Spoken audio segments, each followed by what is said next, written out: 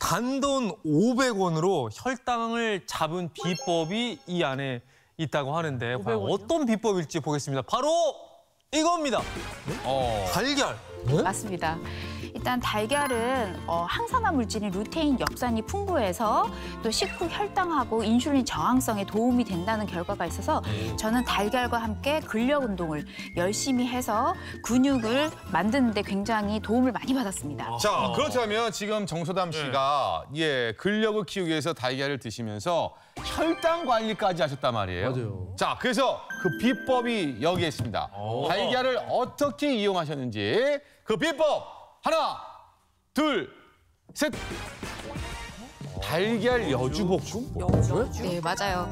달걀과 혈당 조절에 좋은 여주를 같이 요리했는데요. 만드는 법도 쉽습니다. 건여주를 물에 불려서 준비해 주시고요. 간장, 굴소스, 올리고당, 참기름을 섞어서 양념을 만들어 주세요. 먼저 달걀에 소금을 약간 넣고 스크램블로 익힌 다음에 빈 프라이팬에 기름을 두르고 여주를 볶습니다. 방울토마토를 넣고 같이 볶다가 스크램블을 넣고 양념장을 부어서 잘 섞어 주시면 됩니다. 지금 여러분들에게 좀 드렸거든요. 한번 네. 맛을 보세요. 저도 이거 먹고 우리 정소담 선생님처럼 화보 찍고 싶네요. 아, 근데 이게 쓴맛과 달걀 이렇게 잘 어울려요?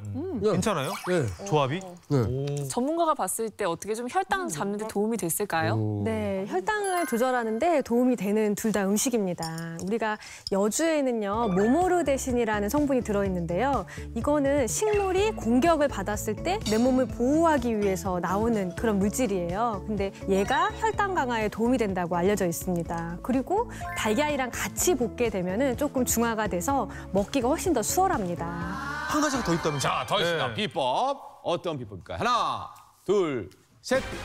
와, 이건 또 뭐예요? 달걀 된장 샐러드요? 네, 달걀하고 맞습니다. 야채. 일단 소스로 혈당에 도움이 되는 소스를 만들었어요. 그래서 된장. 예, 된장에는 유익균이 풍부해서 천연 유익균이 있기 때문에 그 유익균이 체내 인슐린 저항성 개선에 도움이 되기 때문에 된장에다가 어, 물하고 맛술, 참기름 섞어서 소스를 만들어서 마지막에 이렇게 뿌려서 먹으면 아주 훌륭한 한 끼 식사가 된답니다. 야, 달걀을 제대로 이용하셨네요. 자, 지금 박민 선생님이 예. 보시기에는 어떻습니까?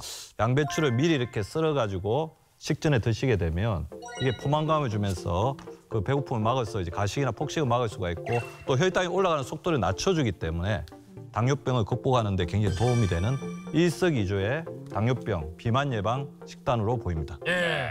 자, 엉덩이 근육을 이렇게 탄탄하게 키울 수 있는 단백질 식단을 알려주셨습니다. 정수담 씨, 고맙습니다. 네.